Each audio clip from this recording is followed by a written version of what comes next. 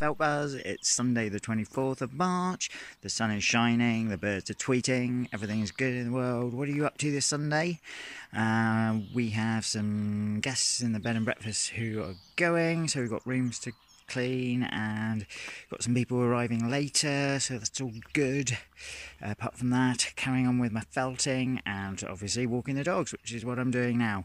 Hope you have a fantastic uh, day. Don't forget if you've got an undervalued post, drop a link in the comments and I'll take a look. And uh, if I like it, I will tweet about it and resteem it. And if I love it, I'll upvote it as well. Have a fantastic day.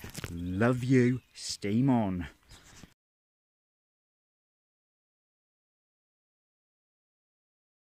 We have guests uh, having a late breakfast, so uh, no long walk in the country this morning, just a quick walk with the dogs, and then I will go uh, mid to late morning with the dogs for a longer walk. So, uh, posting this now, so uh, some pictures of the town instead.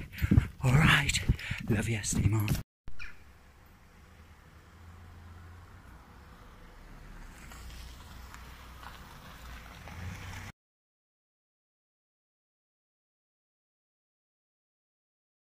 Hello everybody, it's Sunday the 24th of March, out walking the dogs with Actifit, the fitness app at Help Zone and uh, Steem Cryptocurrency. Hope you have a fantastic day.